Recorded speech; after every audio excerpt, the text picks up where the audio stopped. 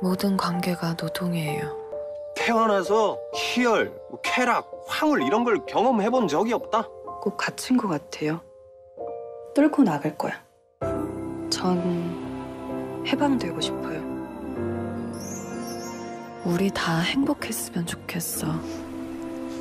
쨍하고 햇볕 난 것처럼 구겨진 것 하나 없이. JTBC 드라마 나의 해방일지 4월 첫 방송